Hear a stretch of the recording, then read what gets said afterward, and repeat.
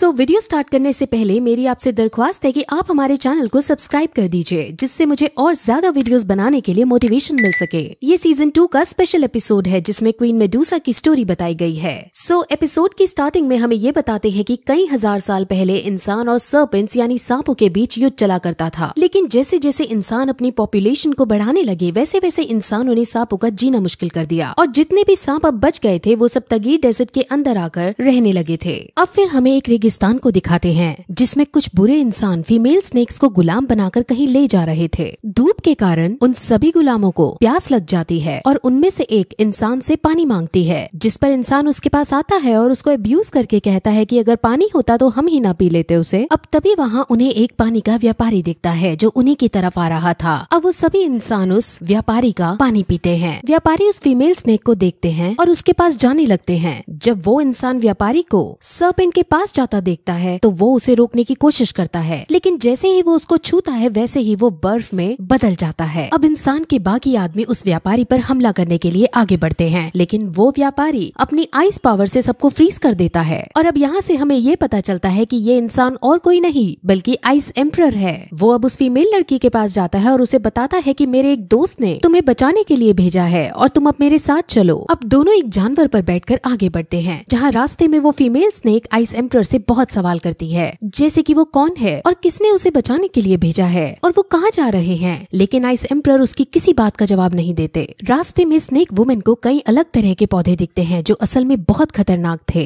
वो अब आगे बढ़ ही रहे होते हैं कि तभी वहाँ एक काले कपड़े पहने आदमी आकर खड़ा हो जाता है और सीधे आइस एम्प्रर पर हमला कर देता है। दोनों में फाइट होने लगती है, जिसमें दोनों ही बहुत खतरनाक तरीके से एक दूसरे पर अटैक करते हैं। और अब उन दोनों में से कोई भी नहीं जीत रहा होता। अब आइस एम्प्रर उस वॉरियर से पूछता है कि तुम एक स्नेक वॉरियर हो। लेकिन मुझे क्यों मार रही हो? जिस पर वो स्नेक वॉरियर कहती है कि ये बात तुम्हें जानने की ज़रूरत नहीं। और फिर वहाँ इल्यूजन क्रिएट करके उसे छलावा देने की कोशिश करती है। लेकिन आइस एम्प्रर उसके छलावे को तोड़ देते हैं। और अब फिर से दोनों में आइकॉनिक लेवल की फाइट होने लगती है। लेकिन इस बार स्नेक वुमेन आइस एम्प्रर को हराने में कामयाब हो जाती है। और वो सीधे आइस एम्प्रर की गाड़ी के अंदर उस फीमेल स्नेक के पास जाने लगती है। लेकिन गाड़ी को खोलने पर उसे वहाँ फीमेल स्नेक नहीं दिखती। अब हमें पता चलता है कि आइस एम्प्रर को इस वुमेन स्नेक के आने का पता था। इसीलिए उसने पहले ही फीमेल स्नेक को एक जगह छुपा दिया था। अब वो फिर फीमेल स्नेक को लेकर सीधे एक वाइन शॉप में जाता है। फीमेल स्नेक को ये लगता है कि कहीं वो इसको यहाँ बेच तो नहीं देगा। असल में फीमेल स्नेक को अपना पास्ट बिल्कुल याद नहीं था। उसे तो अपना नाम तक याद नहीं था कि आखिर वो है कौन। अब वो डरी सहमी सी आइस एम्प्रर के साथ वाइन शॉप के अंदर जाती है। रास्ते में उसे कई सारे अपने पुरानी मेमोरीज के विजन दिखते हैं, लेकिन वो कुछ समझ नहीं पाती आखिर ये सब क्या है। अब आइस एम्प्रर वाइन शॉप के ओनर के पास जाकर कहता है कि मैं इस लड़की को ले आया हूँ और अब तुम इस लड़की को लाने का इनाम मुझे दे दो। फीमेल स्नेक का शक अब यकीन में बदल जाता है और वो समझ जाती है कि आइस एम्प्रर एक अच्छा इंसान नहीं है। अब जब आइस एम्प्रर अपनी बात खत्म करता है और जब उसे बार टेंडर कोई जवाब नहीं देता तो वो उसके पास जाकर उसे देखता है तो वो उसे मरा हुआ पाता है। वो बार टेंडर के हाथ में जो महँगी वाली अंगूठी थी, उसे उतार कर अपनी पेमेंट के रूप में अपने पास रख लेता है और वहाँ से जाने लगता है। फीमेल स्नेक पूछती है कि अब यहाँ मेरे साथ क्या होने वाला है, जिस पर आइस एम्प्रर उसे बताता है कि, क्योंकि तुम्हें मंगाने वाला ओनर मर गया है, इसलिए अब तुम फ्री हो। अब उस लड़की के पास अपना कोई नहीं था और उसे तो अपना नाम भी नहीं पता था। वो बेचारी अब कहाँ जाती? इसीलिए वो आइस एम्प्रर से रिक्वेस्ट करती है कि आप ही मुझे अपने साथ ले चलो। मैं आपकी गुलाम बनकर रह लूँगी, लेकिन आइस एम्प्रर उसे साफ़ मना कर देता है। अब आइस एम्प्रर वहाँ से जाने ही लगता है कि तभी वहाँ आसपास बहुत बड़ा भूकंप आने लगता है और तभी वहाँ स्नेक वॉरियर्स भी आ जाते हैं और उनके साथ वहाँ क्वीन मेडूसा भी होती है। एक इंसान स्नेक्स को देखकर उन पर हमला करने की सोचता है, लेकिन क्वीन मेडूसा उसे दूर से ही भस्म कर देती है। अब क्वीन मेडूसा बार के पास आती है। और उसे मरा हुआ देखती है। असल में ये बार टेंडर स्नेक वुमेन्स को यहाँ किडनैप करके मंगवाता था और उन्हें बेच दिया करता था। अब आइस एम्प्रर और वो फीमेल स्नेक नीचे की तरफ़ छुपे हुए थे। अब फीमेल स्नेक अपने ही जैसे और लोगों को देखकर उनसे मिलने की कोशिश करती है, लेकिन आइस एम्प्रर उसे उनसे मिलने नहीं देता। फीमेल स्नेक को अब और भी ज़्यादा विजन आने लगते हैं और वो रोने लगती है। वही क्वीन मेडूसा को जब यहाँ पर कुछ नहीं मिलता तो वो यहाँ से चली जाती है। अब क्वीन मेडूसा के आदमी सभी लोगों को जो बार के अंदर मौजूद थे, उनको बेरहमी से मार डालते हैं। अब आइस एम्प्रर और वो फीमेल स्नेक भी उनके जाने के बाद बाहर आते हैं और स्नेक वुमेन उसके साथ ट्रैवल करना शुरू करती है। आइस एम्प्रर ने जो पहले एक स्नेक वुमेन से लड़ाई की थी, उस लड़ाई में वुमेन स्नेक ने आइस एम्प्रर को काट लिया था, जिस वजह से आइस एम्प्रर के शोल्डर से होते हुए उसकी बॉडी तक पॉइजन फैलना शुरू हो गया था। और अब आइस एम्प्रर थोड़ा थोड़ा बीमार भी होने लगा था। अब वो फिर चलते चलते बहुत दूर तक आ जाते हैं और चलने की वजह से फीमेल स्नेक थक जाती है। अब उन्हें खाने के लिए खाना चाहिए था और तभी उन्हें कुछ व्यापारी आते हुए नज़र आते हैं। आइस एम्प्रर तुरंत उनके पास जाता है। और उनसे खाना छीनने के लिए, उन पर अटैक करने के लिए रेडी हो जाता है। अब ये देखकर फीमेल स्नेक तुरंत वहाँ आइस एम्पर को रोकती है और व्यापारियों से कहती है की हमें सिर्फ़ खाना चाहिए। वो उन्हें अपना गले का लॉकेट उतार उनसे खाना मांगती है। लेकिन अब फिर भी आइस एम्पर उन सब पर अटैक कर कर उनको घायल कर देता है। फीमेल स्नेक आइस एम्पर पर बहुत गुस्सा होती है, क्योंकि बिना लड़ाई किए भी ये खाना देने को तैयार थे। लेकिन आइस एम्पर वुमेन स्नेक को इन व्यापारियों की सच्चाई बताता है। ये सारे व्यापारी स्नेक वुमेन को बेचने का धंधा करते हैं और आइस एम्पर इन्हें रोकना चाह रहा था। अब तभी वो घायल हुए इंसान खड़े हो जाते हैं और अब वो आइस एम्पर पर हमला कर देते हैं। आइस एम्पर के सामने वो सब एक तुच्छ से इंसान थे और आइस एम्पर उन्हें आसानी से मार देता है। अब आइस एम्पर उन बंदी बनाई हुई स्नेक्स वुमेन के पास जाता है और उन स्नेक्स वुमेन को भी मारने लगता है। क्योंकि अगर ये स्नेक वुमेन वापस अपने शहर में गई तो वो इंसानों की शिकायत क्वीन मेडूसा से ज़रूर करेंगी और क्वीन मेडूसा को गुस्सा आ जाएगा और फिर चारों तरफ़ इंसानों की लाश बिच जाएँगी। इसलिए इस मैटर को आइस एम्पर यही इनको मार डालकर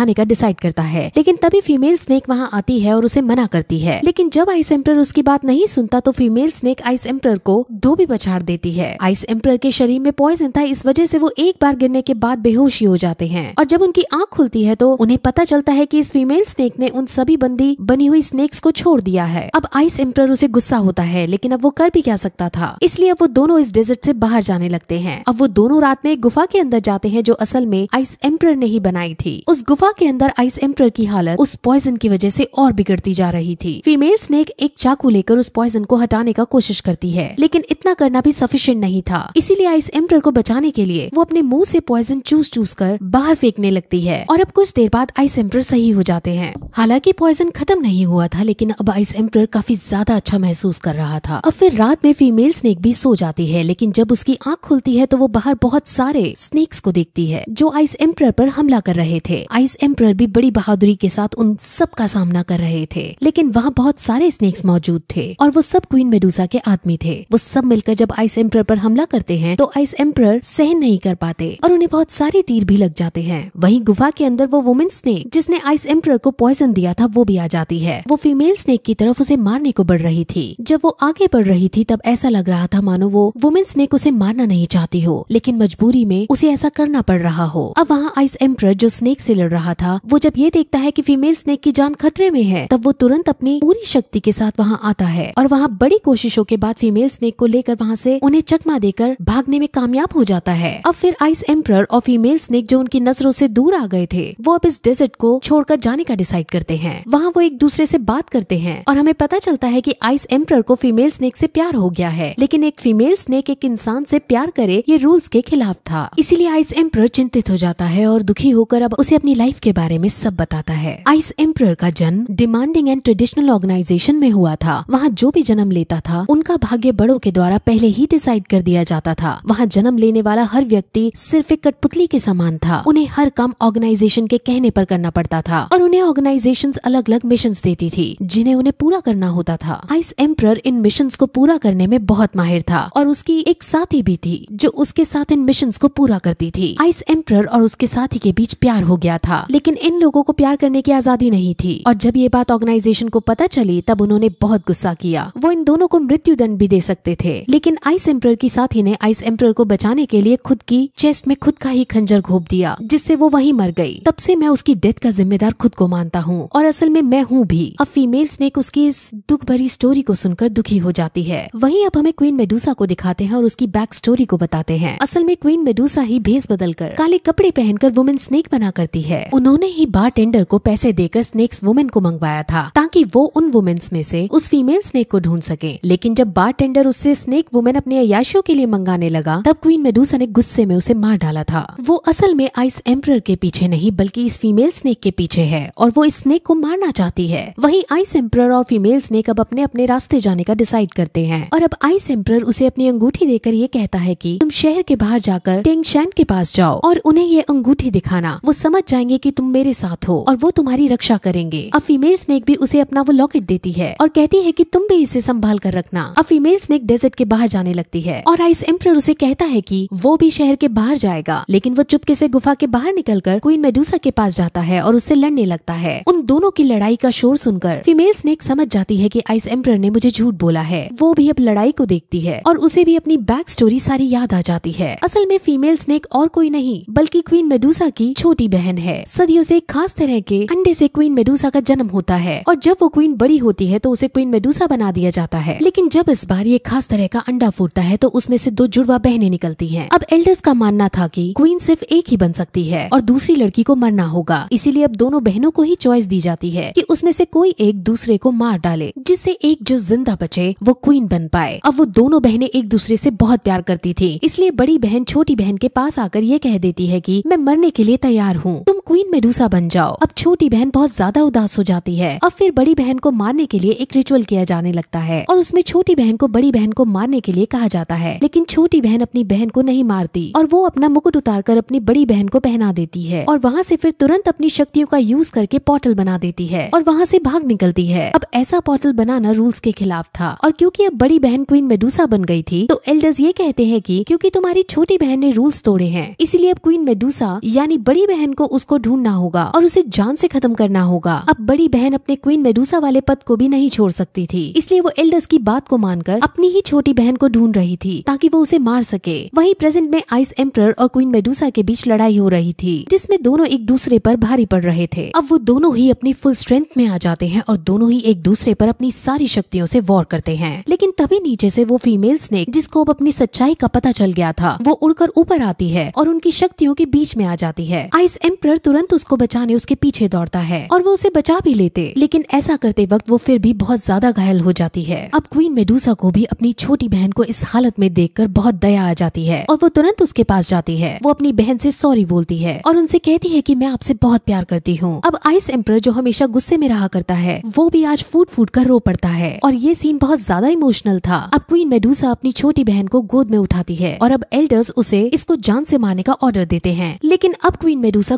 गुस्से में आ जाती है और वो सबसे ये बोलती है कि हम हमेशा से पुराने रूल्स को फॉलो करते आ रहे हैं। लेकिन अब ऐसा नहीं होगा। समय के साथ परंपराएँ बदलेंगी और पुरानी परंपराएँ जिनका कोई सेंस नहीं बनता, वो नष्ट की जाएँगी। अब क्योंकि वो क्वीन थी, इसीलिए सब सैनिक उसके सामने झुक जाते हैं और एल्डर्स को भी क्वीन के आगे नतमस्तक होना पड़ता है। और यही इस तरह ये एपिसोड खत्म हो जाता है।